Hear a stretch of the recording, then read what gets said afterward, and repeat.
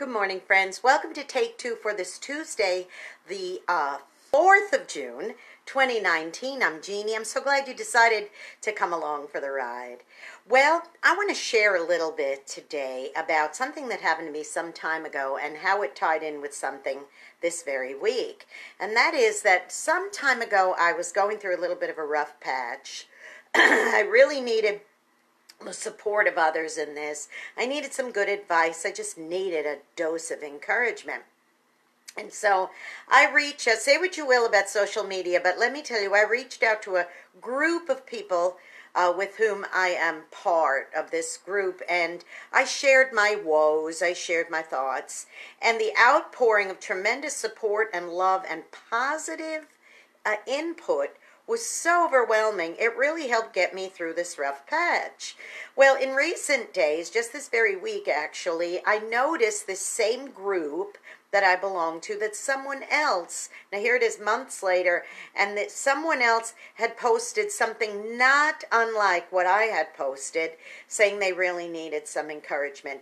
And I just stepped back and watched, and I watched the tremendous outpouring that was given to this individual all kinds of love, constructive advice, nothing negative, nothing like get even, do this, be, you know, forget them, you know, and and ah, you know, nothing like that. No, it was all love. It was all constructive, and it wasn't fluffy either. Like you know, like kind of the people that say, "I'm praying for you," and then they walk away and don't even remember what your name is. No, this was real, genuine stuff. You could tell it was real, genuine, and from the heart.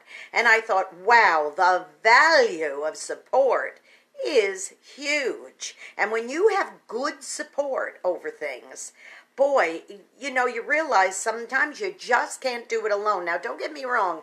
There are times we're Lone Rangers. There are times we have to work things out on our own and we don't need to involve the whole world in our troubles. I'm not talking about those times.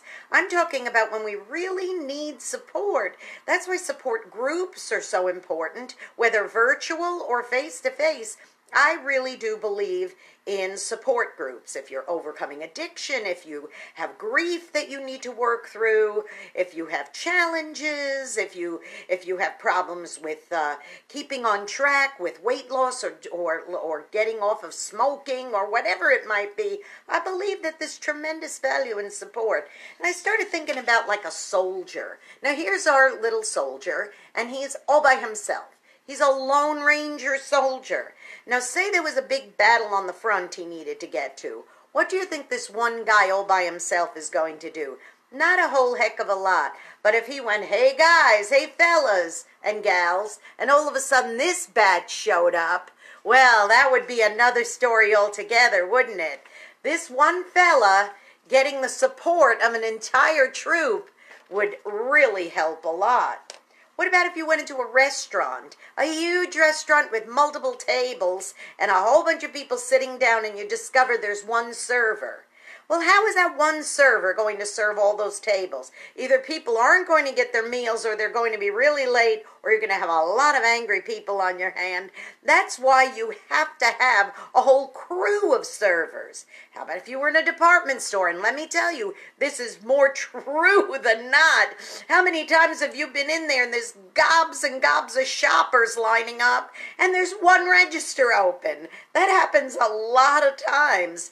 It's always better when you have several registers open to check out your employees. How about a factory assembly line? What if there was a big assembly line, like, say, in Detroit, where cars are being assembled, and there was only one person working on an assembly line?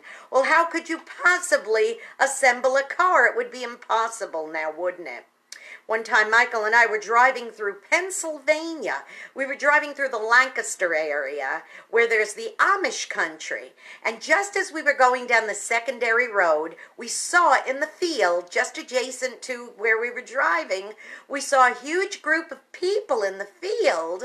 And it was adults and children alike. And just as we were passing them, it was one of those magical timed out moments. Just as we were passing by, we watched them raise uh, an entire wall to a barn. It was a barn raising, an old fashioned barn raising. There was no sophisticated equipment. There was men, women, children, and ropes and, and, and bare hands just pushing. And there you go. It was, it was strength in numbers. Now, could one man have done that by himself or one woman by herself or one child by himself or herself? Absolutely not. You got to have a team to do something like that. And that's why my, my mother, who was famous for many sayings, Mean Mary and her sayings, one saying she used to say that really was true, and that was that, well, many of them were true, but this one was very true, and there's strength in numbers. In other words, get a team together, get a support team together. There's tremendous value in having that support. And let me tell you something not the support of a bunch of people who are going to give you bad advice. I'm not talking about like joining a gang where you are all angry about something, unless, of course, it's uh, righteous anger, like you want to do something about, you know, injustices in the world. I'm not talking about that. I'm talking about when you're going through grief, when you're going through a, a, a weight loss journey, when you're going through a health problem, when you're going through rehabilitation from from a cancer, whatever it might be. Get that support team together, boys and girls. You know, I know a lot of people who have lost children. Now, it's always, always sad when a parent loses a child. That is always a very, very sad thing.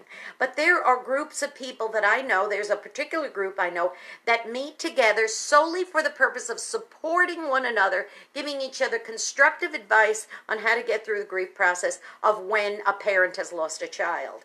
And, and it really is helpful helpful. And I have spoken with this one man who kind of heads up the group, and he said, if I didn't have my little family, now not to become codependent on them either, there's always that extreme, but this is just to be together, to understand, to be uh, like minded, so that you could do something constructively instead of just dwelling in destructive and, and bad behavior and bad thought patterns. No, no. This is something where you can help one another. So I was so blessed to see that post by that person and then the subsequent post that went underneath it just to say, wow, this group is still doing their job. They're still still advising and giving blessing to one another. And and then I was able personally to add another very constructive thing I hope onto tag it onto this person's post to say hey been there done that sister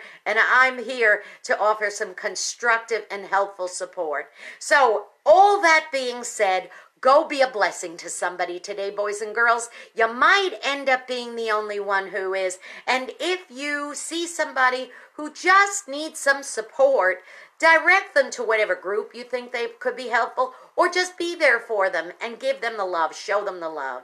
Don't forget to subscribe to my YouTube channel, Jeanne Sigler, J E A N N E S I G L E R. Hit the subscribe button and you will be and hit the notification button and the little bell and you'll be able to watch all of my take twos and even make comments if you like. And then also don't forget great music great programming great everything. Wrmz.org click the listen button. That's wrmz.org and tune in okay? All right. Love you all very much uh, don't try to go it alone when you know you've got a whole troop behind you because boys and girls we're here for you. And if you need some support and you don't know where to turn, private message me, won't you? And I will point you in the right direction. Love you all very much. I'll see you tomorrow for a hump day. Take care. Bye bye. Love ya.